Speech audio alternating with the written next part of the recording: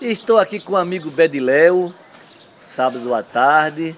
E na sexta-feira correu a notícia que Bediléu tinha sofrido um acidente e que estava no hospital, uma situação triste. Bediléu, como foi esse negócio desse acidente seu? Fala aí para os internautas do blog do Pilar. É, sofri um acidente ontem, né? E Isso aí todo mundo já sabe. O povo quer saber o que foi que aconteceu. A gente. Fale mais alto. Tivemos que reduzir a velocidade da moto para que o carro pudesse passar. E nessa redução de moto, a moto estancou e eu não consegui conter o peso e terminou perfurando. Teve, você aconteceu o quê? Perfurou a minha perna, né? A, a maçaneta a foi? maçaneta entrou, entrou todinha na, na perna. Na perna. E Quantos pontos? Nove.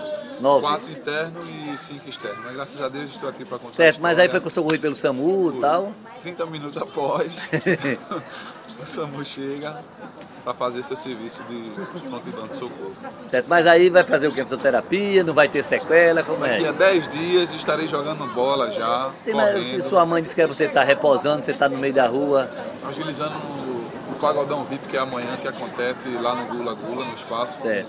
com o Alex. E amanhã estarei lá, não posso deixar Amanhã de... nesse vídeo vai para a segunda-feira. Então... Vai pro a segunda, É, então, já nem passou a festa. mas não tem problema. Então, Pé de Léo, é, foi, isso foi só. um- agradecido aí pela a galera pela aí mensagem. torcer pela por melhoria da minha da minha situação e a galera que compartilhou e que me deu a maior força. Valeu aí, galera. Vai-te embora, Pé de Léo, pô, ainda vai ter, ter muito para ter a pé e a,